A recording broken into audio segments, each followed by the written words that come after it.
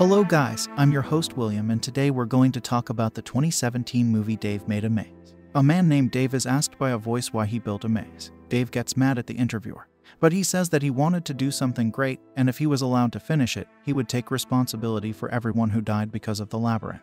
The story is set a few days ago, when Annie Dave's girl was a young girl. After a business trip, he or she goes home. To her surprise, there was a structure made of boxes in the middle of their apartment where she could hear her boyfriend talking. Dave tells Annie that he built a maze and wants to keep it in the house for a while. She thinks the cardboard structure is just another strange thing that happened that day, so she doesn't do anything and just goes to the shower. Annie comes back to the living room after a while and asks Dave how long he has been working on it. He says that he has been inside for three days and can't get out because he got lost. He offers to just break down the structure, but he doesn't want to destroy what he worked so hard on. He is excited and wants to enter the labyrinth.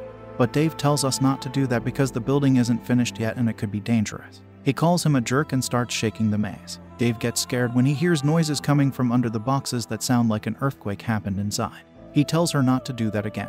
Annie is angry and wants to break out of the maze, but he told her to find another way out and to call his friend Gordon. When Gordon gets there, Dave tells him excitedly about the labyrinth and how he started building it from the middle but got lost. Gordon doesn't believe what he says, but he's told that the labyrinth is bigger on the inside than it looks from the outside. Annie thanks Gordon for coming to see his friend, and they start talking about how Dave is peeing in the maze, which is kind of funny. He says that it has been a long time since he last ate. She is very upset by these words, so she asks Dave if he is sure he is okay. He says that he hurt his hand and is sorry. Gordon tries to lift the boxes so Dave can get out from under them, but he says he nailed them to the floor very well. Then Gordon starts knocking on the boxes, and Dave uses the sounds of the knocking to try to find his way out of the maze. But his plan to get out of the maze fails because he gets lost again. He says that the structure he built is too complicated and hard to get out of.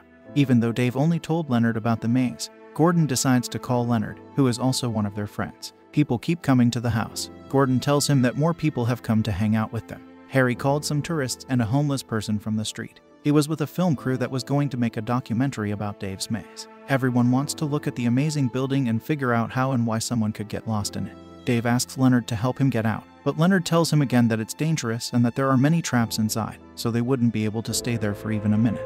Leonard thinks that everything is a joke and is leaving. Dave tells Annie he's sorry he can't get out of the maze. He tells her that he misses her, and she tells him that she misses him as well. These words reverberate through the maze and reach Dave, who is tired and lost, somewhere in the middle of the boxes. He decides to follow Dave into them. Everyone in the room thinks this is a green light, so they all go first into the maze, leaving only the bum outside. When they get inside, they are surprised to find that the maze is much bigger than it looked from the outside. As Dave's friends move through the cardboard hallways, they are amazed by what he has been able to build all this time. In the labyrinth, each room is decorated in a different way. In a quarter with walls that look like piano keys, there is a room with playing cards on the walls.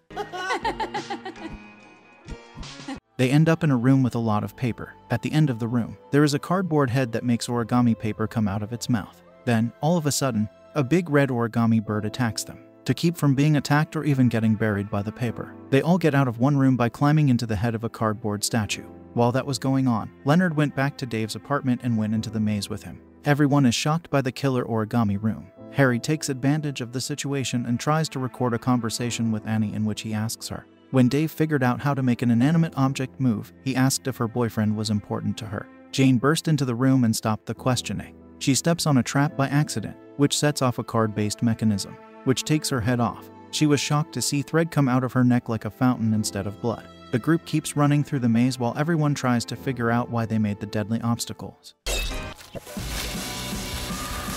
Greg and Bryn hide and look for each other in another part of the maze. Greg doesn't see another trap and ends up dying because of it. Bryn finds the other people in the group and tells them what happened to Greg. They decide to find out what's going on by going to where he died, but when they get there, they find that his body is gone. They see hoof prints somewhere on the cardboard floor. Gordon thinks that Dave has made a Ur that watches over the maze and eats the dead SL. Annie uses a paper cutter to cut a hole in the wall. With each cut, the wind in the room gets stronger. Everyone got out of the room, except Bry, who was killed by the Ur. The monster then starts going after everyone else. Dave walks in and leads them to a different room, which is made up of tricks the eye sees. He tells his friends they shouldn't have gone into the maze and that he didn't think it would get so bad that people would die because of it. After he tells everyone to get inside a gift box, which turns out to be a tube to another room, they fly out and turn into cardboard. The Minotaur that was following them walks into the room and starts to chase after them. After getting past the traps, They fall down another pipe and end up in a different room Inhuman. Dave hangs a towel across the aisle to protect his friends from the Minotaur. He says that this is the only way to temporarily stop the Minotaur. Dave doesn't want to destroy the maze, even though everything is going wrong, so he invites his friends to help him finish it. He thinks that the maze has become dangerous because it wasn't finished yet. Annie doesn't like this idea, so she tells him they need to leave. Dave tells her that she can't cut her own passage because that would get the Ur's attention right away. He takes his friends to the next room, where there is music, a spotlight, and multicolored light bulbs. A documentary that the friends made together in the past is being shown on the screen. They talk about old times and act out funny scenes from movies. They find a quarter that looks like female Jen in one of the rooms. At the end of the quarter, there is a bright light that everyone wants to get closer to. Dave tells his friends to stop, and then he takes the glove off his hurt hand. He also wanted to touch the light, and because of this, his hand turned into papier-mâché. As they keep going, they finally find the way out of the maze. They go toward it happily, but they end up in a different room. Since they've been there, the maze has grown even bigger, making it almost impossible to find a way out. Dave suggests mixing the Ur with the general room for women and making it out of cardboard. He promised that he would be able to turn off the traps and that they could finish the maze together. His friends aren't as excited about it. We saw at the beginning that Harry decides to talk to Dave. In it, he talks about why he actually made the maze. Dave is having a hard time and was trying to do something good to help himself. He was sick of being broke, looking for work all the time, and still getting money from his parents when he was 30. He doesn't want his friends and family to think he's weak, and he doesn't want to show how angry he is. The maze became a personification of all the things he feels inside every day, and he finally decides to help him find a way out of the maze. The Minotaur tries to get into their room and breaks up their conversation. Gordon and the person who controls the boom use their weight to block the doorway. They run into another room with the others, and he offers to help them find the heart of the labyrinth.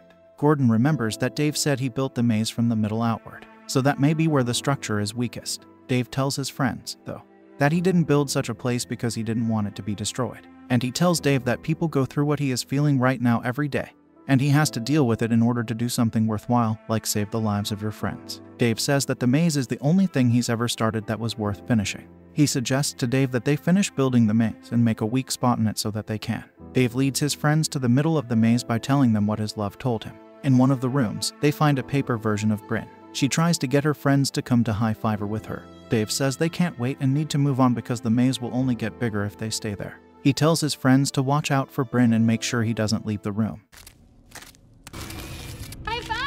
Harry decides it's Bryn's turn to be interviewed while he and Annie go on. Gordon asks her why they are here, and she says that life is full of things that can't be finished and can't be left behind. Dave and Annie sit down at a table at the same time. The way the couple talks to each other over and over again shows that their relationship is in trouble. Dave thought that Annie was sad and that he was always looking for himself. They fought, and neither of them could understand the other. Dave says that he worries that he and Annie don't have anything else. Annie tells him that everything will be fine and looks at him with loving eyes. Dave blows out the candle and says he is looking for a way out. The couple ends up back in the maze, where anyone can light a lantern to make the room brighter. The group kept getting in Bryn's way. She tells them about the Ur and says that all he wants is more free human blood. Annie and Dave work together to make a cocoon in the middle of the maze, which should be a weak spot. He pulls out a samurai sword and tells Annie that the Minotaur will come after them as soon as she pierces the wall with her sword. She kisses Dave and tells him she loves him. Then, taking advantage of the moment, she thrusts a sword into the wall. The group throws a rope around Bryn. She turns into a giant hand and tries to get away, dragging the boom operator underground with her. When he hits again, something that looks like blood starts to come out of him. Annie and Dave find themselves in a new room, and Dave tells them that they need to spin the cocoon to get out of the maze. Annie finds a player for music and puts something on it. During all of this, the Minotaur is chasing after the remaining friends, but they are able to get away by unwinding. The cocoon starts to glow and open up. Leonard, who had been following them the whole time, dies when the maze fights back and sets off new traps. Dave uses his sword to cut out the center of the cocoon, which destroys the labyrinth for good.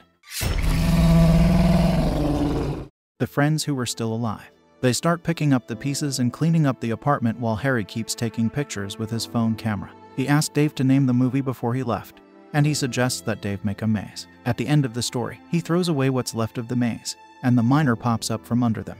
And the story end here. What do you think about this story? Let me know in the comments and don't forget to like the video, subscribe and activating bell for notification until the next video. Thank you so much for watching.